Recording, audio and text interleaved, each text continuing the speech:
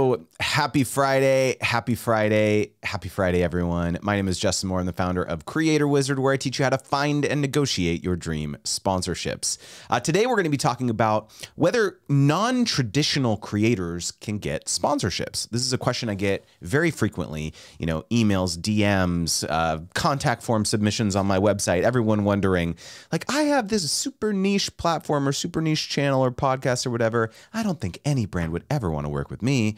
Um, and so it's like a very, very frequent, frequent um, message that I get. And so I wanted to address that today. So let me know where you're tuning in from today. Uh, I am going live across YouTube, Instagram, Facebook, TikTok, LinkedIn, uh, you name it. I don't even know where else I'm, I'm going live. Um, and uh, we've got English Daily with Mimosa Andy said, definitely running a non traditional channel over here. Looking forward to the content. Great to see you here. We've got John Leland tuning in from beautiful Northern California. That's where I am as well, John. Hope you're having a wonderful Friday. We've got Kaylee tuning in. Good to see you here. We've got uh, C and Victor tuning in on TikTok. Let me pull up my Instagram chat uh, to see who we got over there. Uh, let's see here. Am I live? I am live. There we go. We've got Marianne, Cre- Marianne Cresp tuning in all the way from Sydney, Australia. Good to see you here. We got Gray Cedar Home, uh, Cami Happy Tribe uh, as well. Uh, good to see you here. So, as you know, with these live streams, my time is your time uh, on these lives. Uh, I am here for you. And so we're going to get the juices flowing with a little bit uh, with a topic here uh, and then uh, dive into Q&A all around sponsorships, brand deals, negotiations, you name it, however I can serve you. Uh, we've got D and fam tuning in. What's up, D? Good to see you here. my partner in crime. we've got Ryan Clover Owens from Ithaca tuning in from LinkedIn. Good to see you here. We got the Artist Haven tuning in from Southern Illinois. good to see you here as well. All right right, so let's get the juices flowing. So, uh, on this topic of, of non traditional creators and, and whether you can get sponsorships. Um, so, I first want to kick off by uh, telling a story around how I started Creator Wizard um, and um, the, a decision that I that I made uh, about serving a very particular segment of, of folks. So, when I first started out teaching people around sponsorships, I was very narrowly focused on YouTubers, TikTokers, Instagrammers, basically, um, because that was most of my experience, both with my wife and I personally, but also uh, when I ran my agency. Those were most of the deals that I did. And so when I launched my course and when I started making YouTube videos, that was like the persona, the audience persona that I had in mind. But something that was very surprising to me was that over time, I started having all sorts of different types of creators reaching out to me uh, who were not social media creators, people who were podcasters, people who were bloggers, people who had, you know, newsletters, people who ran conferences and so on. And so I started to realize like, oh, like I actually can serve like very capably a lot more people than I initially expected. And so I made this pivot about a year a year ago um, to start serving and start catering to some of these. Um, you know, when I was making my my newsletter blast, or when I was um, you know making YouTube videos, or even in my course, uh, in terms of the examples that I was providing, that um, I started just being a lot more inclusive of you know people who are, regardless of how you're building your business, if you have influence over a certain like you know uh, you know certain audience, then I can help you, right? And so I wanted to share that story because I think it is a parallel for a lot of people who have what they perceive to be super niche uh, channels, super niche audiences. Like no brand would ever want to work with me. And I think that the reason that oftentimes we feel this is because we're evaluating ourself and our content and our business in a vacuum. Um, and so the the the thing that I want you to hear is that just because you think that like no brand would ever want to partner with you doesn't mean it's true, right? And so I think this is this mindset shift is like you have to start thinking about start thinking about and researching your dream brands objectives and initiatives and think okay how could i support them to make those things happen there's this um, thing that i teach in my program called the rope method and i've talked about it in some of my youtube videos as well um, where r stands for relevant meaning that when you are approaching a brand or a company and saying hey i want to collaborate with you um, then your pitch has to be relevant to them right? What the mistake that a lot of creators make when they're trying to forge partnerships and pitch brands is they just make it very them focused. They make it very, oh, I'm Justin, I have 50,000 followers and I get this many views and, you know, blah, blah, blah, blah, blah. And the brand, like you're a dime a dozen basically to the brand. They don't care. There's lots of, you know, like there's lots of creators who have lots of followers and lots of views and all that stuff. But at the end of the day, what's in it for them? How can you help them move the needle in their own business? And so, even if you are a you know quote unquote non-traditional or niche creator um, if you can capably illustrate to them that you can help them accomplish some business outcome um, then they may just end up paying you right? And so i think that it's like a really really important thing to, to understand is that you cannot just evaluate yourself in a vacuum. And, and even if there was a brand one day that did say something like that to you that oh, i just don't think like you're a good fit like you're too niche or something like that that doesn't mean that's what every brand or every partner believes, right? The same could be true as like I hear a lot of creators say like, "Oh, you know, I'm not going to reach out to brands because I don't have 10,000 followers or 10,000 subscribers or whatever, whatever it is." Um, because one time, one brand told you like, "Oh, we only work with people who have this, you know, threshold of following or, or something, something arbitrary like that, right?" And so in your mind, oh, I guess that's what everyone thinks, right? But in reality, that's not the case. And yes, of course, there are some brands who are very short-sighted and who believe that, um, but it really, truly is uh, like a, a, an important acknowledgement that you have to understand and, and make to yourself that that's not what everyone believes. That's not what everyone thinks. Um, and so I, I, wanted to like get that out the way because I think that, that there is kind of a mindset or like a like a, a limiting belief to this whole point of like, oh, I'm I can't you know sponsorships because I'm just too non-traditional, right? Um, we got Sarah Loretta in the chat. What is going on, um, everyone? Okay, Sarah Loretta just posted her uh, new product on Product Hunt. So if you are on Product Hunt, go over there, find out her, uh, you know, like go search for Sarah. It's called Workflows. I, I, if it's not called Workflows, please remind me. Sorry if I'm like botching this, uh, Sarah, but uh, she just launched on Product Hunt. And for those of you who, who understand Product Hunt or know, it's like really important to like support the people the day that they release so they can get like pushed to the top and get a bunch of eyeballs on them. So go support our girl Sarah. She's our Notion uh, designer extraordinaire. She helps us with, with a ton of stuff uh, at Creator Wizard. So uh, go go support one of our own. Uh, we've got Parker's on the go tuning in from NC. Uh, good to see you here. We've got that almost vegan dude. Good to see you on TikTok. Uh, let's see who we got uh, here as well tuning in. We got Rob's Rob's other account. What's going on? Okay, big shout out to Rob. Rob just tuned in on Instagram. I just want to give a big shout out to Rob. Uh, as of this morning, I am so thrilled to share that Uscreen is going to be partnering with Creator Wizard uh, across the newsletter and the live stream and the community. I'm so excited to to spread the word This particular live stream is not sponsored by Ustream. It's going to start next uh, next Uscreen next uh, next month. July is the first month. Um, but uh, yeah, I just wanted to give a shout out to Rob. Rob is at uh, is uh, in uh, at VidCon right now, so I w- I wasn't able to uh, to join. But uh, but yeah, I'm so so thrilled and appreciative. Um, you know, partnerships like this with with Uscreen really enable us and the team to continue to bring awesome, amazing content to y'all. Uh, and so whenever we're able to forge these awesome partnerships, then it's like so so important that, or so so critical um, for for y'all to support them as well because it enables us to you know uh, you know further the mission. And you know I have this mission to help creators big and small land a million sponsorships by 2032. And so um, to be able to do that, that means investing in infrastructure, growing the team, um, you know, building out different tooling and and uh, you know things like that that'll allow us to to make that happen. And so we are very very very excited to partner with Rob and Uscreen. Uh, got a chance to hang out with them at Craft and Commerce a few weeks back in Idaho, um, and their team is just they're amazing people. And so really really excited to uh, to share more about them over the coming months. Um, so yes, yes, excited to partner with you. Of course, we've got the blue hearts too, uh, because the the I think the Uscreen branding is blue. So good to see you, Robin. I appreciate you so much, man.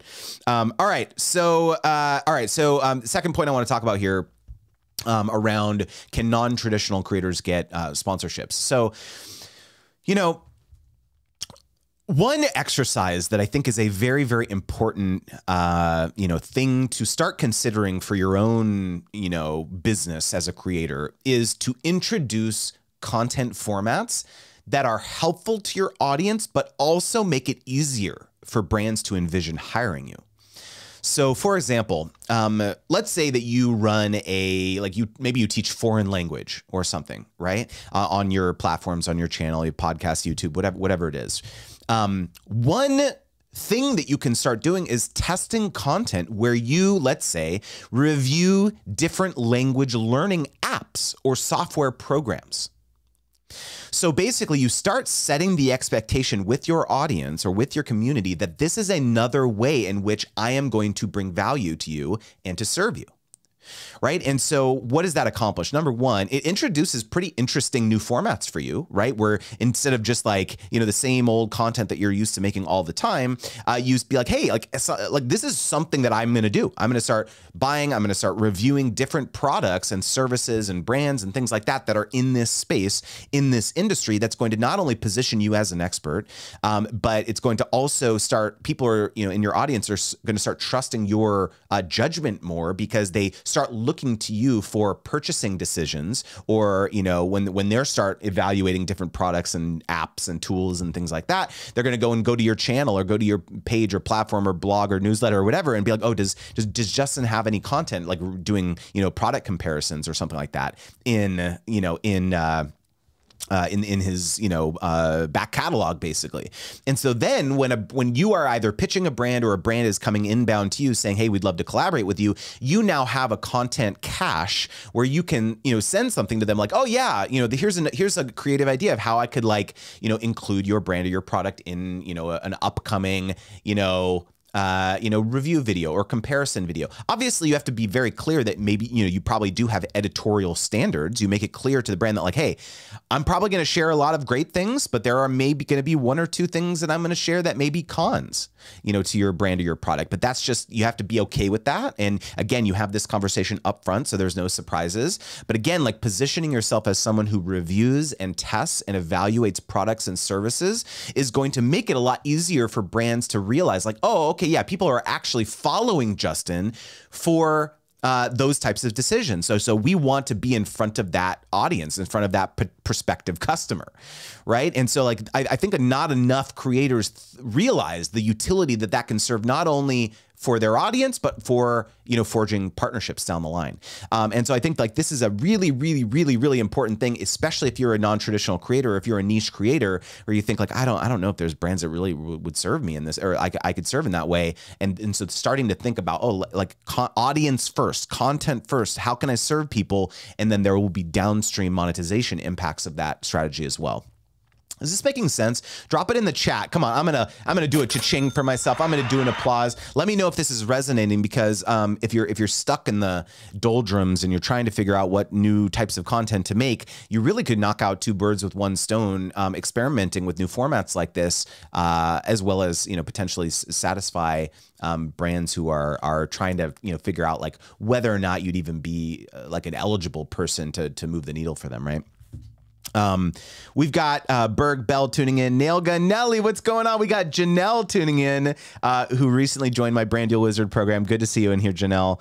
Um, and uh, yeah, oh, uh, Rob, so hopping into a meeting here. Just wanted to, to drop by and uh, show you some love. Thanks, man. Good to see you here. Appreciate it.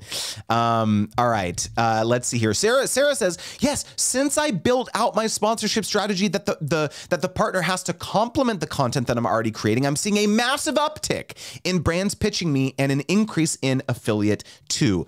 Absolutely huge, Sarah. Congratulations. That is a huge win right there. Yeah, and, and I think that this is like a really important acknowledgement here. Like each and every one of you who are here on this live stream are you know people who understand the value of building out a strategy when it comes to to sponsors like what most creators believe is like a, a strategy is like they a partner, like, you know, someone just comes inbound to their email inbox and is like, hey, we'd love to partner. They negotiate the deal, they create the content, and then they post it. Like that, that is the extent of most people's strategies. But I'm sorry to say that that is not a strategy, right? That, that's why you're here. You're learning about different ways in which you can position yourself, your creator brand, understand how your holistic persona is being displayed across all of social media wherever you know your podcast your newsletter whatever wherever you have your influence uh, understanding that like if you want to have a, a sustainable income a continuous income uh, a predictable income working with brands and working with partners um, then like you have to sit down and actually put a strategy in place that involves not just waiting for brands to come to you basically right? Um, so yeah, you know, I am. Um, I'm. Uh, you know, uh, I, I, wanted specifically to talk about this topic because um, there's like this this other uh, like item um, that I think is is is not talked about enough, which is that like when it comes to uh, whether you're a non-traditional creator or a niche creator, um, and you're having a hard time feeling as though it's like difficult to get sponsorships, um, I'll be straight with you. Like brands do not want more of the same.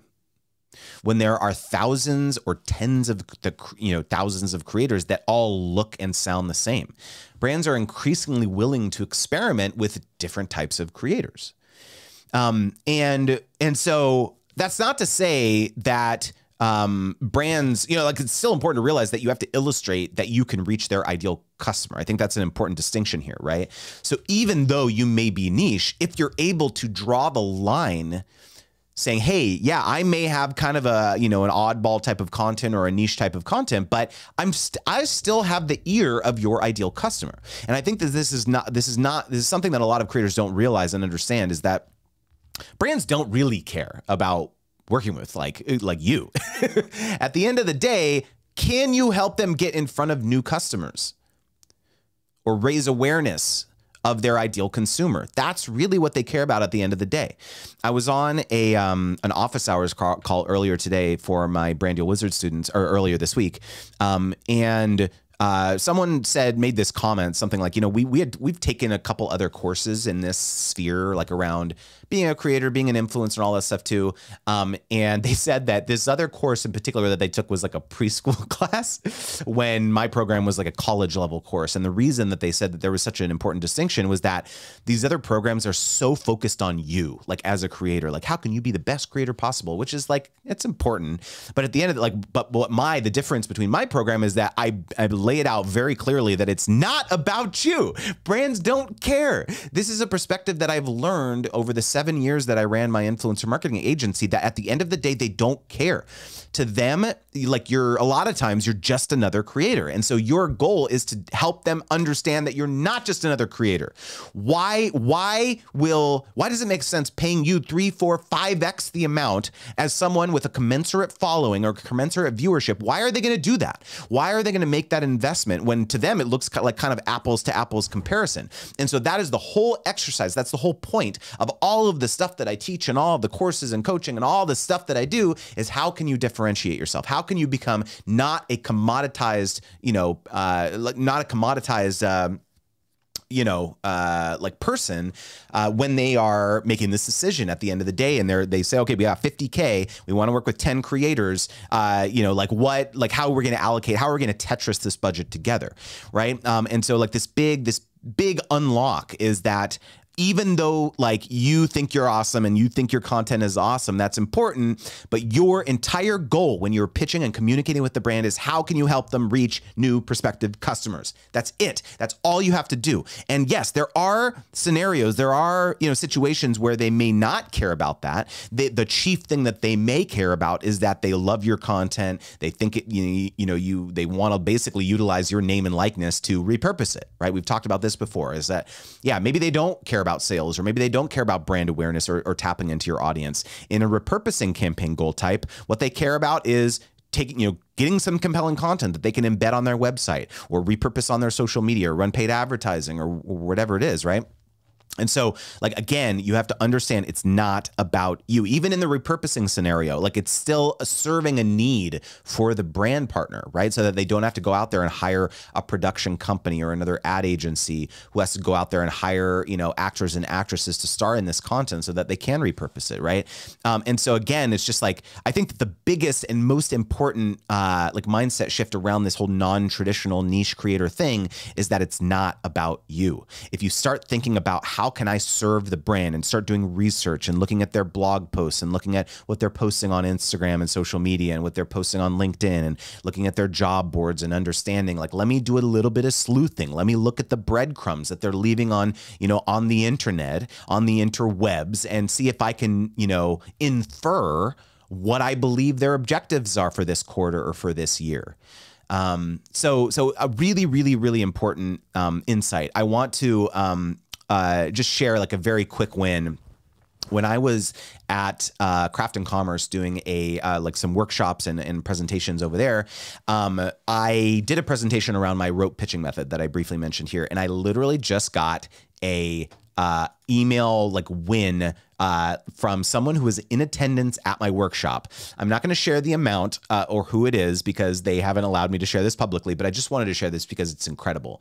So this creator has a very very niche uh, newsletter, a regional newsletter in like a it's like a, in a town. Like it, it is like the largest town in a in a uh, in a state. Um, and um, they had come up during my workshop and shared that they wanted to do a particular pitch um, for uh, for a particular brand, and I was helping them workshop about like what they could say and like the ways in which they could approach that. Um, they just emailed me today that they just got a multi five figure sponsorship using the rope method.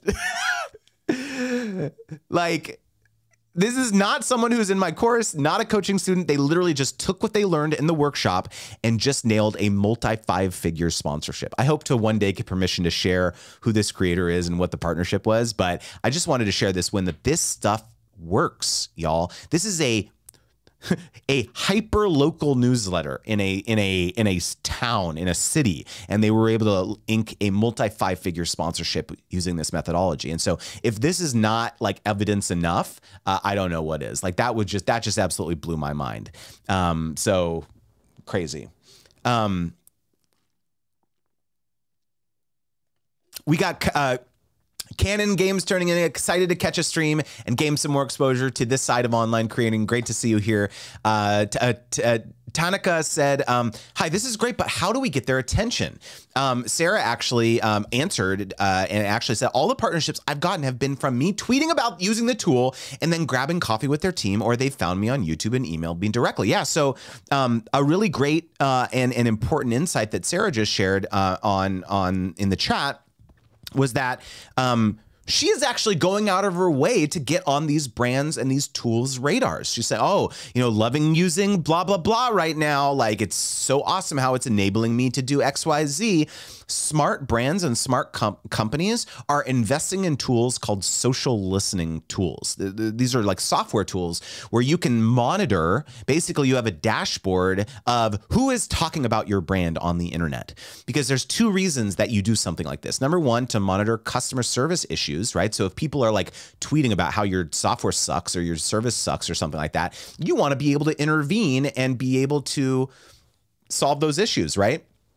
you see airlines doing this all the time. Like people are, whenever they have issues with their flights being delayed or canceled, they oftentimes turn to social media to complain about that. And then you'll see those airlines or other companies in in the in the replies and the threads being like, "Oh, we're so sorry. Like, please DM us your confirmation number, and we'll see what we can do, et cetera, et cetera." Right? Like the most brands like any brand or company worth their salt has tools like this right? If they are any you know sizable company right? And so the other like really important reason that you have social listening tools is for stuff like this. When you have really um, vocally positive uh, customers and or influencers, a lot of these tools are able to flag and escalate when people who have a sizable audience are tweeting you. So you can imagine if you have, you know, a quote unquote influencer or someone who is influential, not maybe not an influencer, but someone who is influential. Maybe they have a hundred thousand Twitter followers or something, and they're they're you know very well followed within their industry or within their niche.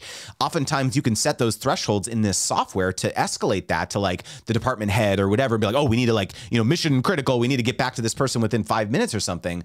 Um, and so you can imagine that like if, if even if a tool is like, you know, relatively modestly large, like even someone who has 5,000 followers or 10,000 followers in a niche um, could be someone that, you know, would be worthwhile reaching out. So when Sarah is tweeting about using a tool or using a software program or using a brand or something that may be a little bit of a smaller thing, that's probably going to get on their radar. And so it sounds like Sarah has been able to forge those relationships and start have you know having those conversations. I think one really like important uh, like thing to realize here um, is that uh, you know when you are a creator who is non-traditional or when you're a creator who are are a little bit more niche um, like maybe pitching Nike or maybe pitching Coca Cola or Walmart or some of these really, really giant brands is not the best move starting out.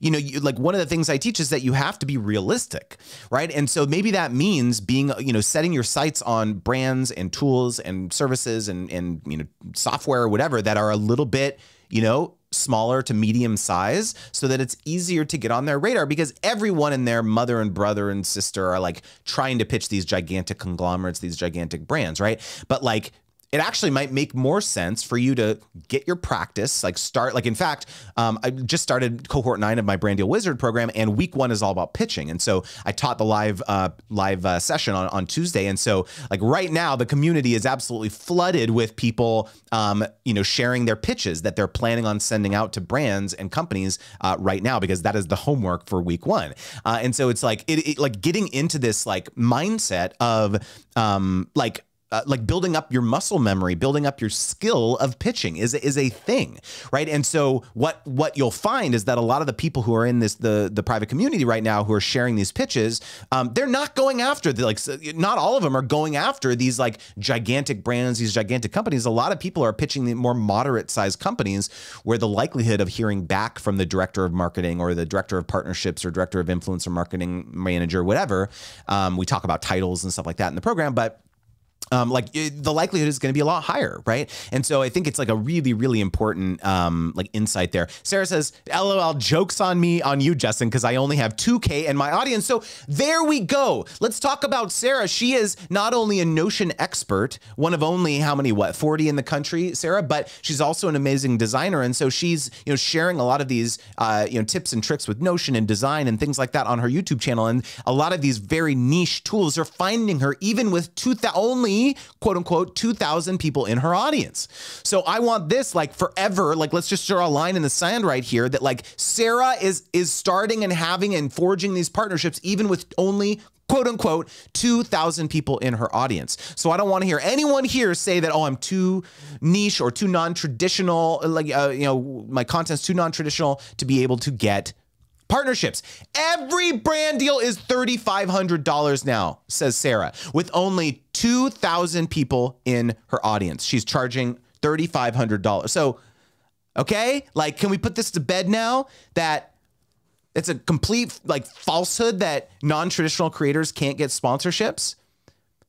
Right? This is one thing that I'm that I'm really realizing. And again, I talked at the top about how when I started, I was like saying, "Oh, I I think only YouTubers or Instagrammers or TikToks, only those type of creators can get sponsorships because that was like my my experience at right." But like I just started having all these people under the sun come to me and being like, "Hey, I'm actually making a lot of money on sponsorships, but I'm not a social media creator."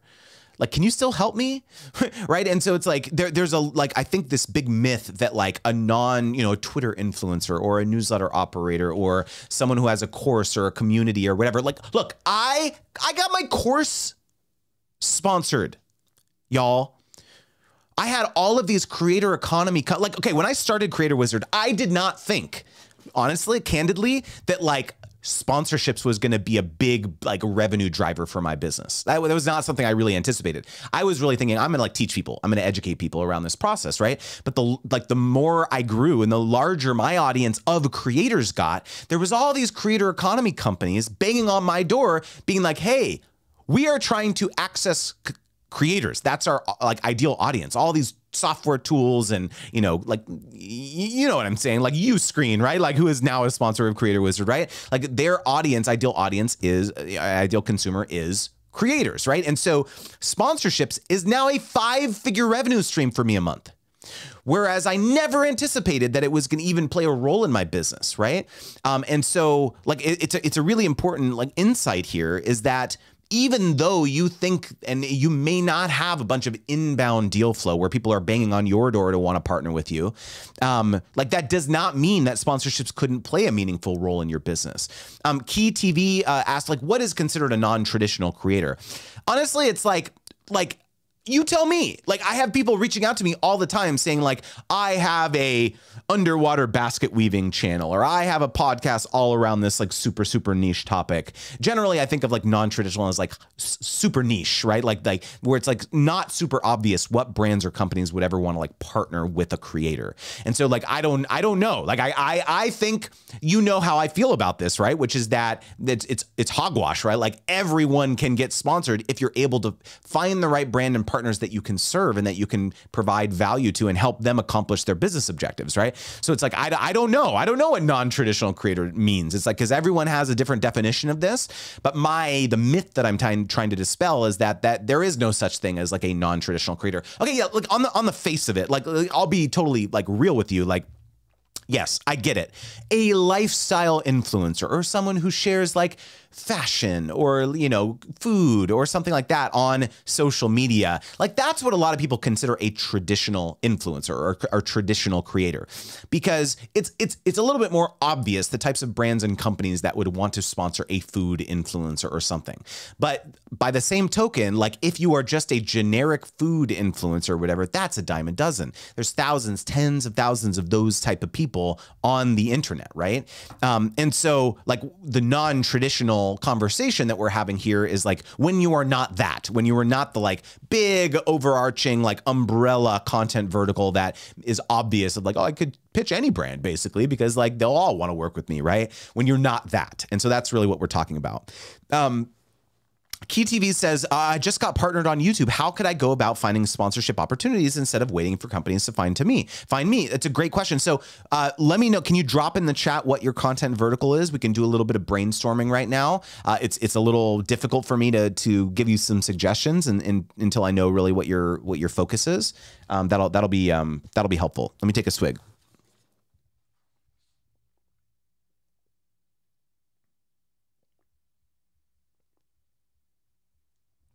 Okay. Key TV says, um, I uh, teach creative uh, freelancers and small teams how to operate better online. So sharing content about what tools can uh, achieve that is what I do. I would say I would say I'm a non-traditional. Um, yeah. So great. It's a like a really great um, like insight there from Sarah um, okay, so Key TV says I'm a gaming channel. I'm focused on NBA 2K, so like a uh, you know, like a video game, a specific video game. Right, I'm a gaming channel. Okay, so one exercise that I think would be really helpful for you and anyone on here listening who is thinking, I don't know, like who I could even reach out to as a as a creator it's this exercise that I call um, understanding, trying to understand your audience's psychographics, not just their demographics. So I would venture to guess that if you looked in your YouTube analytics and you looked at your demographics tab, you probably heavily skewed towards male, um, probably 18 to 34 maybe even you know like 13 to 18 is is a 13 to 17 is like a big bucket for you. Um, but I, I would guess that you're on the younger demographic side. But beyond the demographics like let's try to double click on that and try to understand like a little bit more about them. Like are these people uh, still in high school or college? Um, are they, you know, about to graduate and trying to get their first job?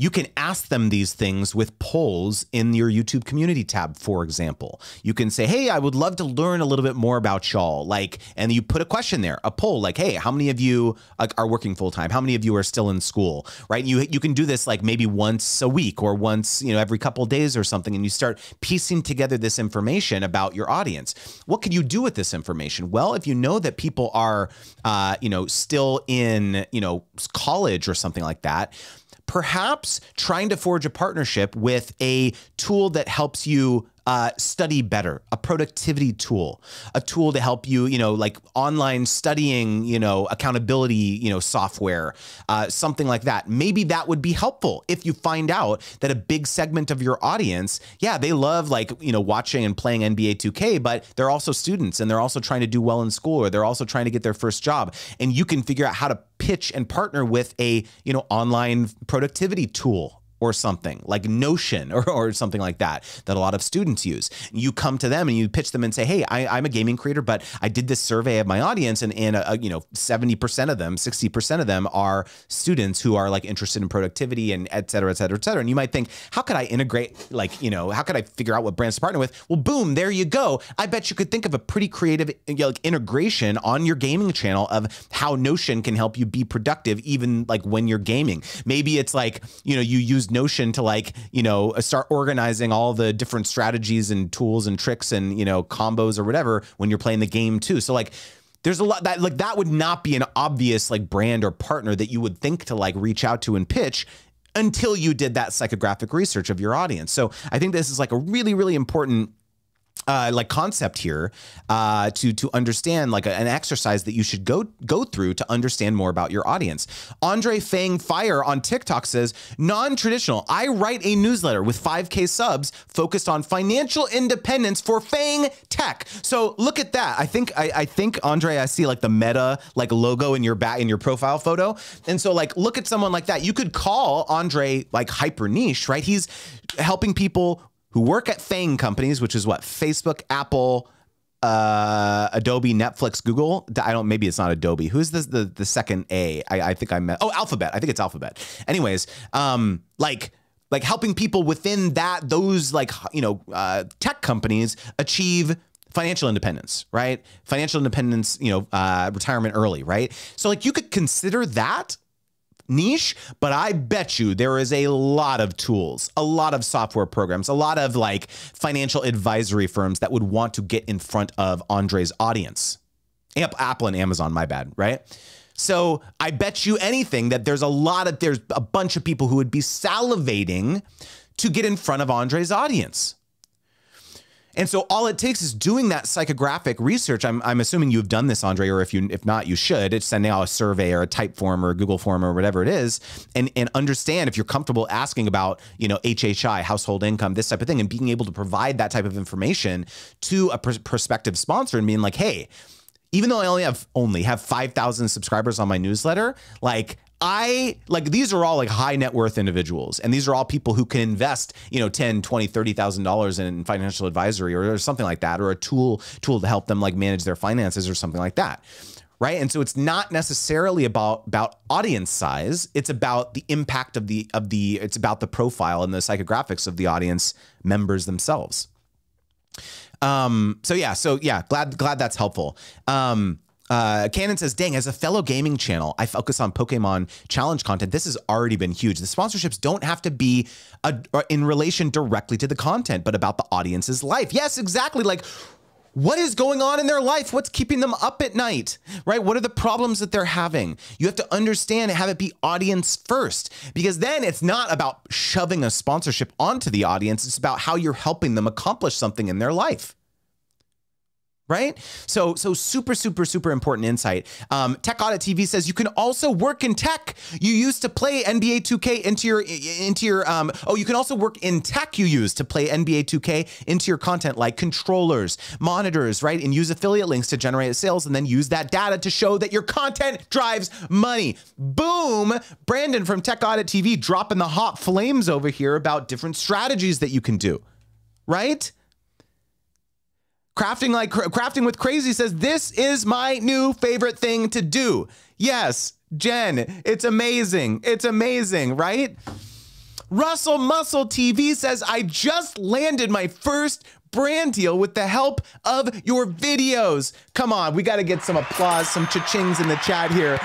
Come on, Russell. Everyone, everyone. I want to see a bunch of hand clap emojis in the chat for Russell here because if there's if there's one thing that we sell, we celebrate a lot of stuff on this channel, but this is the one of the main things that we celebrate here. This is an absolutely transformative moment. And we are all gonna we're gonna give some love to Russell here in the chat. I am just so thrilled for you, Russell. That is incredible. Yes, Sarah says yes. Let's go, Russell. We got chills in the in the uh, TikTok chat. Myra saying congratulations, Russell. Freaking W says says uh, says uh, Cannon. Yes, there we go. Boom says John. Yes, I love to hear it. Yes, Russell, you got to give us some details. Like what? Tell us tell us more about it. I want to acknowledge you because you've been putting in the work. I'm really really proud of you. We've got Ian in the TikTok chat uh, tuning in. Yes, I'm I'm so thrilled for you, man. I've talked I've I've said this before, but like there's two highs that I chase in this in my life when I like get me out of bed every morning and just get me so fulfilled to show up here every week, every day that I'm here for y'all trying to trying to help you unlock this uh, like a revenue stream in your business. The first unlock, the first like high that I chase is when people get their very first brand deal, like you just did, Russell. Because to me, it's it's not just the money or it's not just the deal that it represents. It's this mindset shift that like, wow, this could actually be something up to now it was just a hobby or up to now i was only like making money from like let's say youtube you know adsense or something like that but wow there's actually brands out there that will compensate me to talk about them that is absolutely massive so that's like a like I like that that that you this could be something. This could be a career. I could do this full time. It's like like now the future is like pregnant with possibility. That and so like that is so like I remember the first paid deal that we got and it was just like ama- amazing. Like this is this could be a thing, right? And so like enabling people to get that uh, is so so fulfilling. And then the second one is like when when people realize like oh I can actually charge not a thousand dollars for this, but ten thousand dollars for this without ten times the amount of work. That like could take the business to an absolutely new level or you know a stratosphere that you never anticipated. And so those are the two like highs that i really chase and just like oh my god they drive me and they fulfill me to no end. Um, and so like hearing that that anecdote from you russell is really really really honestly is amazing. Um, so super super proud of you um, all right, I'm gonna take a swig. My, I must say, my voice. I'm. I'm I, I, you may be able to like hear that I'm like starting to lose my voice uh, because I've been talking a lot this week. I've been doing my courses, office hours. Uh, I have been on some like multiple podcasts this week, and so my voice is uh, is starting to go. Pardon me.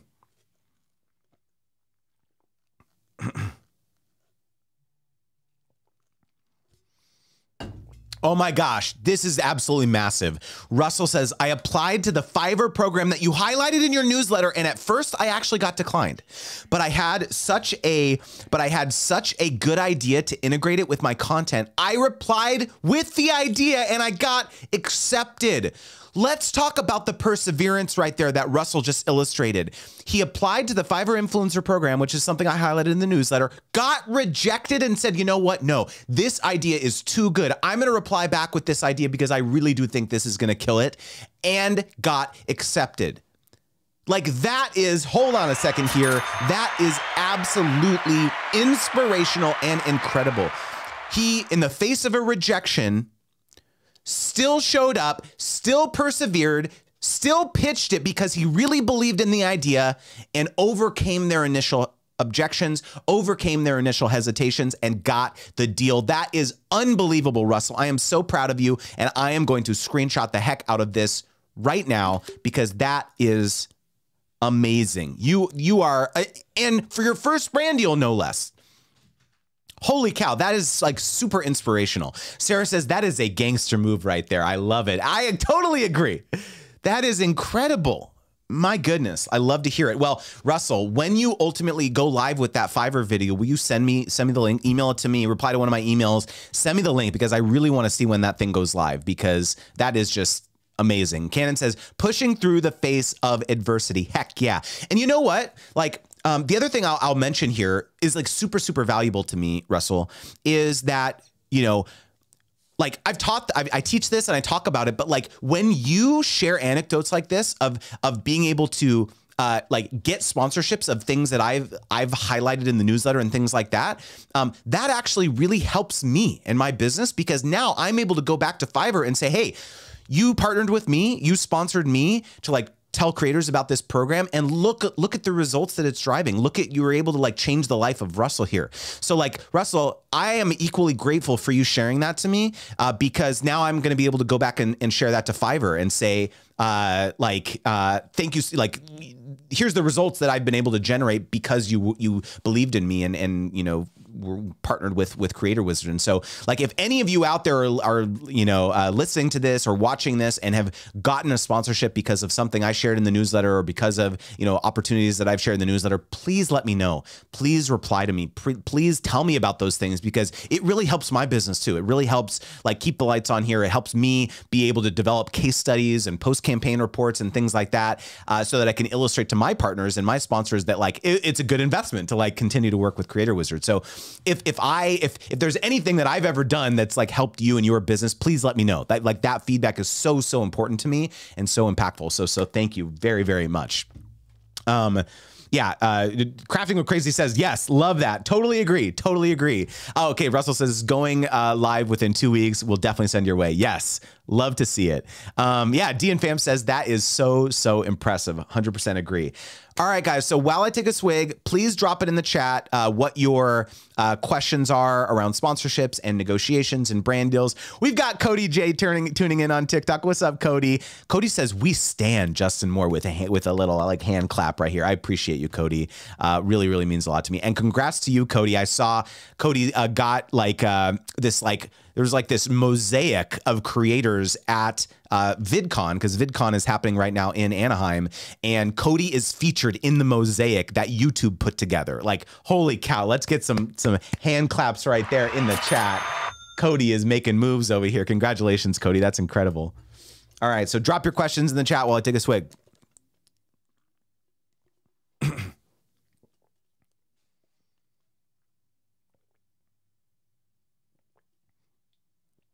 All right.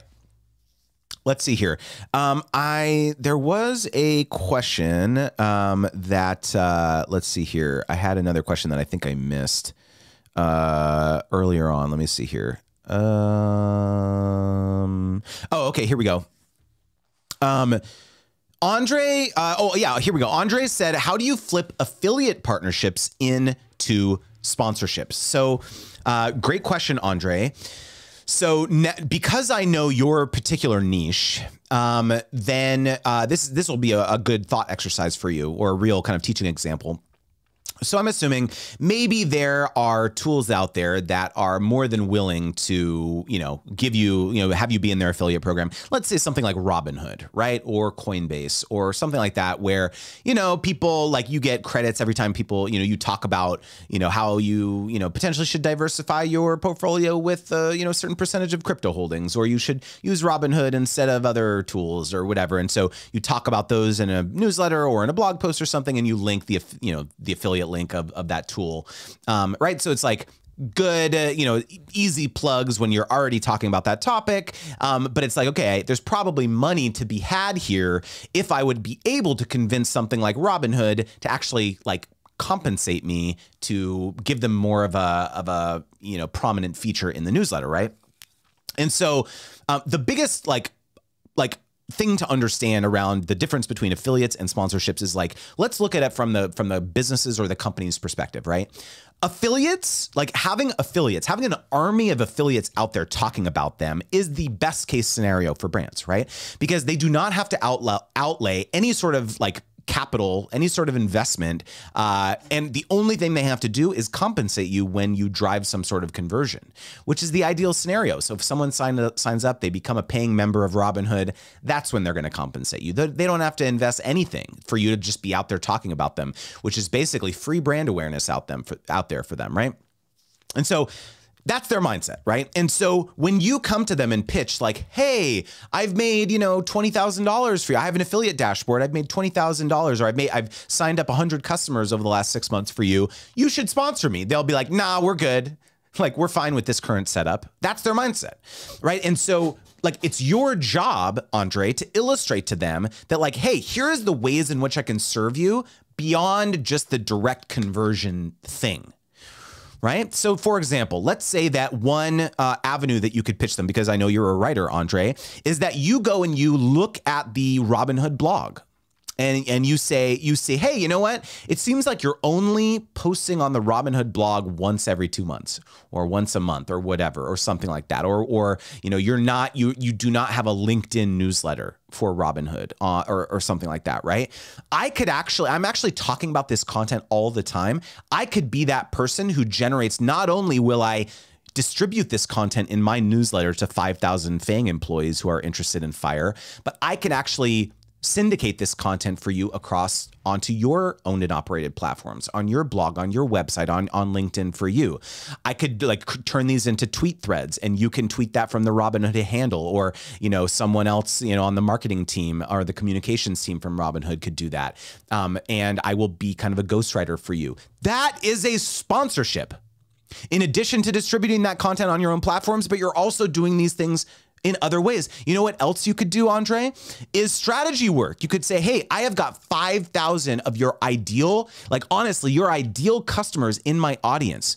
I understand them intimately because I've done the psychographic research that we just talked about, right? I have uh, like, I've done customer interviews where you've actually like, this is something you should do if you haven't done this, Andre, where you just send a, a you know, a Calendly link out and you say, hey, I've got, I'm like looking to like talk to some of you. I've got five spaces. Like, would you be willing to like hop on a Zoom call and just talk to me about, you know, how you interact with my content, challenges that you're having in your life, et cetera, et cetera right?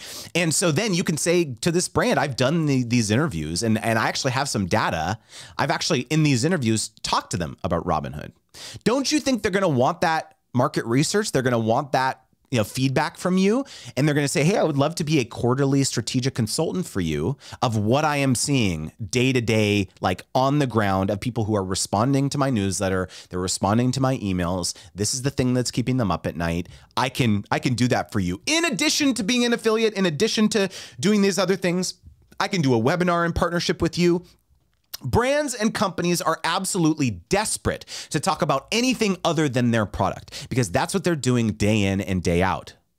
And so if you come to them and be like, hey, here's all these other esoteric ways in which you can provide value to your customers, imagine that. What if you come to Robinhood and you say, hey, Robinhood, uh, like, what if we do a quarterly webinar together? They can then send that out to their customer base, who then you get in front of your newsletter gets in front of the, all their customer base and say, hey, we're doing this partnership with, you know, Andre's Fang Fire newsletter. Um, come to this webinar where we're going to be talking about XYZ. Isn't that mutually beneficial? So there's all these ways in which you can provide value to brand partners that don't look like a traditional sponsorship but could represent a very, very lucrative revenue stream for you. Is this helpful, Andre? I hope this is helpful. Let me take a swig.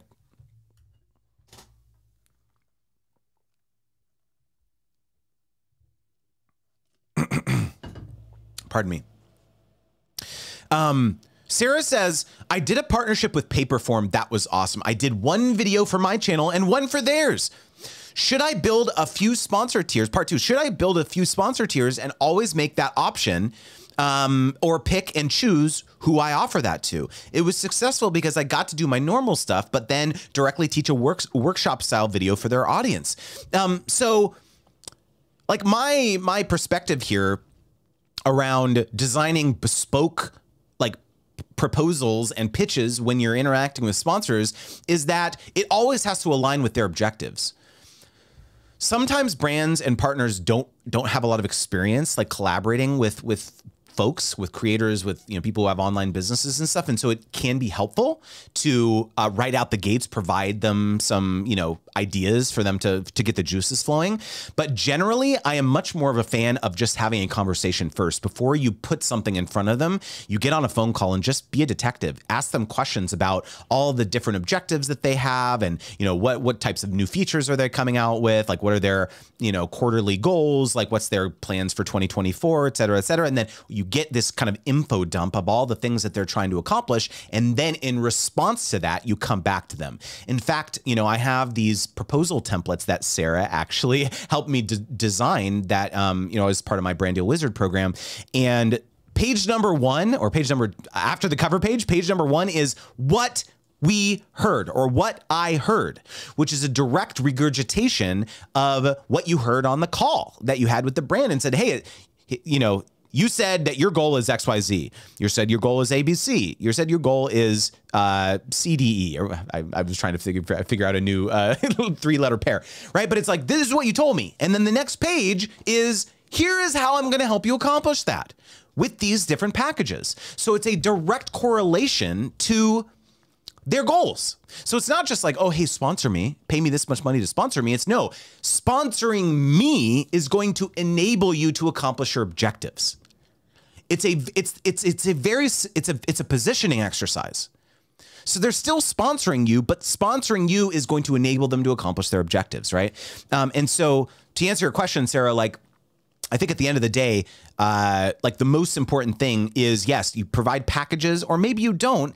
If if you just need to provide them, uh, like like if they tell you that like, hey, if you do this for us, it's going to help us. It's going to make us super happy. Then that's all you need to pitch them, right? But generally, I am a big fan of like presenting them with multiple multiple different options and packages for them to stretch to stretch their mind of what the of all the different ways in which you can serve them. So yeah, I, I think that's a that's a really great way to approach it. Andre says, I love it. That absolutely aligns with my expertise too. Then yeah, hundred percent. I, I totally think that you, that's an approach you should take. Totally.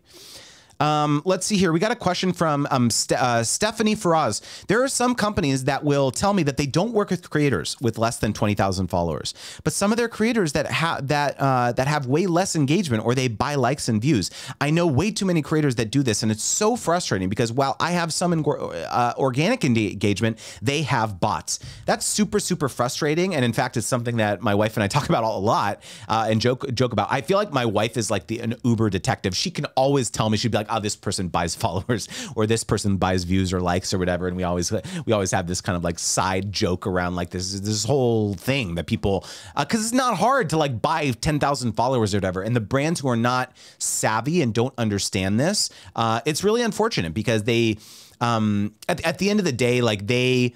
Uh, like they're they just have not done enough due diligence to understand what makes a good and and like authentic partner right and so Number one, Stephanie, the advice I can give if you do believe that you want to go down this road, you absolutely can feel free to educate them. You don't need to throw anyone under the bus, being like, did you know these other five people that you're working with have bought followers or whatever? Um, you don't need to necessarily like say that, but you can call stuff out like that. If you want it like in a, in a way perhaps uh, finding an article on adweek or digiday or something like that where it talks about you know the importance of uh, understanding how engaged uh, a, follower's audience is. So it's almost like you're subtweeting those other people that you know that that they're partnering with but you're doing it in a, in a tactful way where you're providing data you're providing articles or research or, or something uh, showing that like this is a rampant thing uh, and that and that you know, actually partnering with people who may have a smaller following but a more engaged audience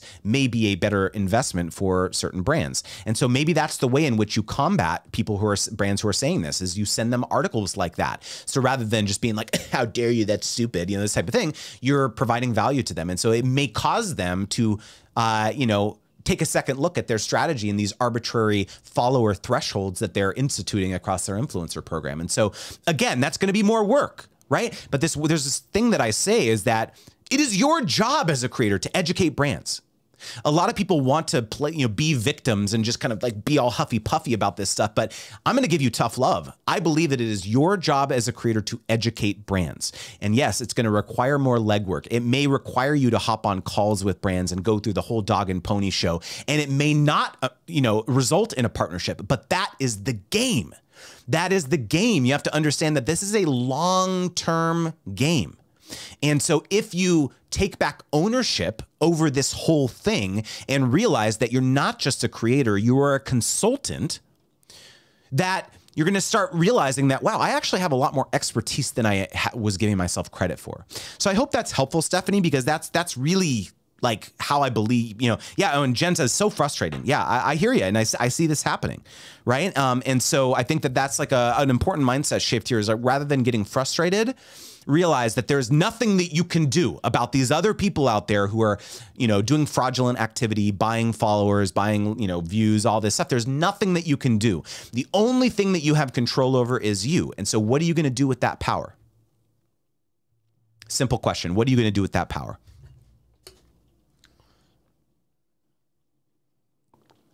Mm. All right. Um, let's see here. Um, yeah, uh, we got Diggs. By the way, what's going on? Good to see you here. Sarah says, "Hey, heck yeah, I did. Those proposal decks are freaking beautiful. Thank you. yeah, thanks to you, Sarah. I appreciate you very very much. Um, number one T-shirt instructor on TikTok. What is going on? Uh, good to see you here, uh, Mel. Uh, furniture makeovers and DIY in here in the TikTok chat. Good to see you here as well.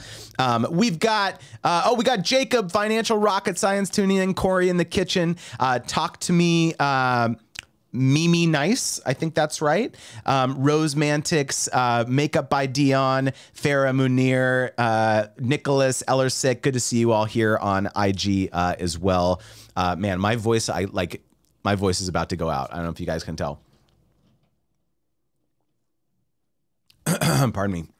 Well, can't believe it. We're already at time, guys. Uh, I want to thank each and every one of you uh, for for showing up today. It really means the world to me. Honestly, I love hanging out with you guys. Some of you come every single week, uh, and I've seen the growth. I've seen the success and how learning some of these things you've been able to take this into your creator business and use these things when you're negotiating and communicating with brands. Uh, and I'm just so proud of each and every one of you. I hope you have a wonderful weekend. Um, and uh, pardon me, I hope you have a wonderful weekend. And I'll see you all on the flip side.